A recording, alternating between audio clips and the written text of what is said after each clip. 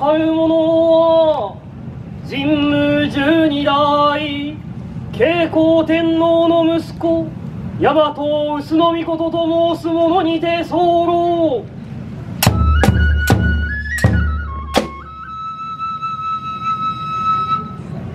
力はこの度九州はつくしの国より熊その頭明けるなる者天立て下を従えて朝廷に背き庶民に悩みをかけることを数知れずよってこれを速やかに成敗せよとの勅命なればこれよりは九州はつくしの国をばさし身を急がばやぞと思うなり。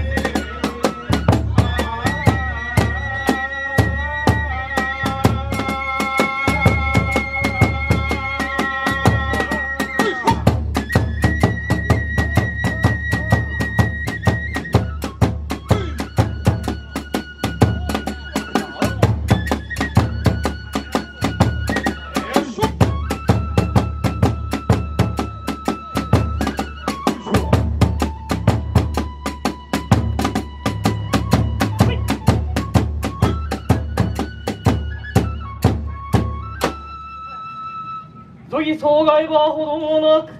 つくしの国は武尊の館にも尽きたと覚えて候そかに伺い合い見るに今宵は宴のさなかと見定めたればこれよりは旅の女に富をやつし受けに近づき我が一党のもとに成敗た三歩像のうなぎされば何時はあれない木陰に飛びを潜め清場をからうべし。かしこまって候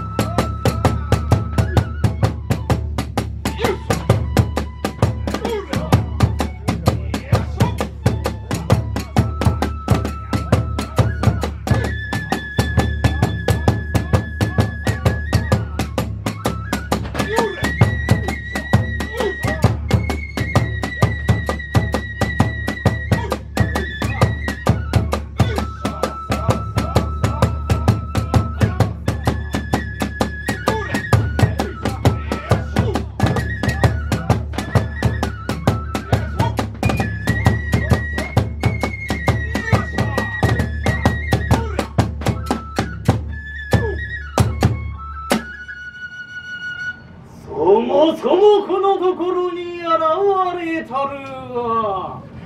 つくしにおいては熊その頭川上武なり美しい知恵を打ちしたがえて天下に恐るべきものもなく栄を笑顔いたすものなりさればこの度館を新築いたしたなれば一族老頭を寄せ集め主演を終えた三蔵と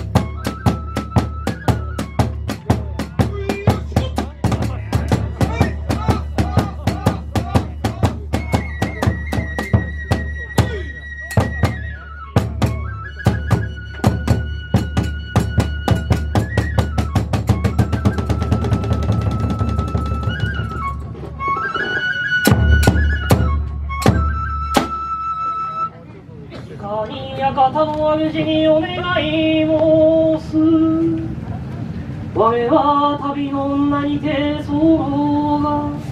今宵一夜の宿を願い申す。これはこれは一夜の宿を借りたしと申すか。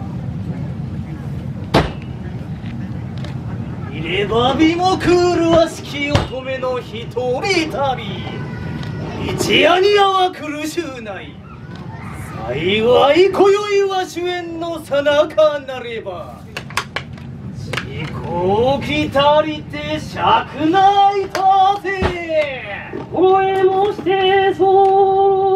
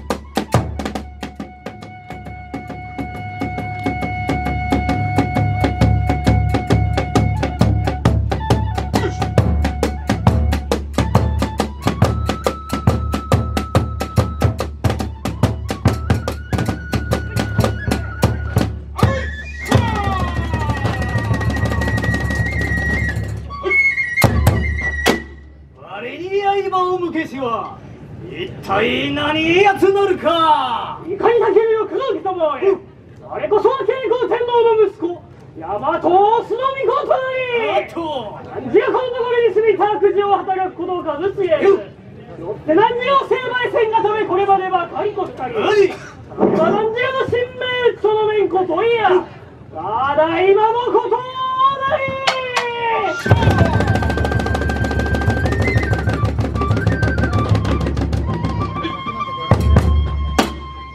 あれば何時が噂に聞けし臼の御子となるか。いかにも。相手にとって不足なし。そ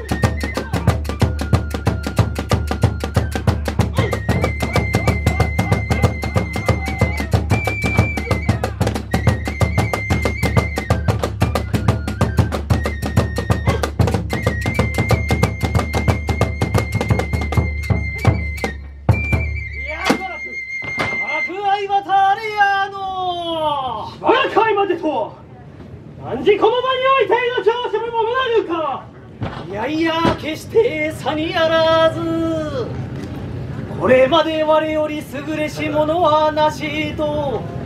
川上武と名乗りしが大和の国にかかる王子のおせしか。これよりのちは我が名武一時取りて大和武と名乗りたまえやの。それは何時の武生きながられっぱイなり力からこれより我が名を大とたけるとは止めて三河の身を沈め立てまちあれば何時の将来いやこれまでなり